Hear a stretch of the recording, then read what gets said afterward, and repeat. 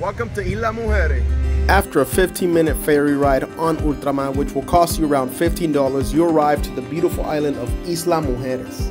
A complete change of scenery from Cancun, Isla Mujeres is very relaxing and full of things to do. Renting a golf cart is a must while you're in Isla Mujeres. If you want to traverse through the island in this heat, even though it's a small island, it's pretty big if you're walking on foot. So it's we paid uh, $74 for the whole day. I say it's worth it, so enjoy your time here.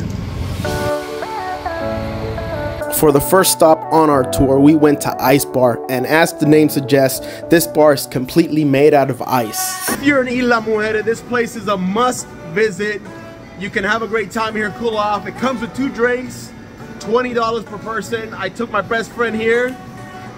He did not expect this. It's a, it's a hot day and it feels good to cool off, but it's getting really cold right now. When I say everything's made out of ice, I mean everything, even the foosball table. Before we left, we ate at the Wonky Grill, which is an all-you-can-eat buffet with an incredible view. Now we headed to the south part of the island where you can swim with dolphins, enjoy a nice day on a catamaran, or my favorite, El Garrafon, where you can enjoy snorkeling, kayaking, and ziplining over the most beautiful turquoise water.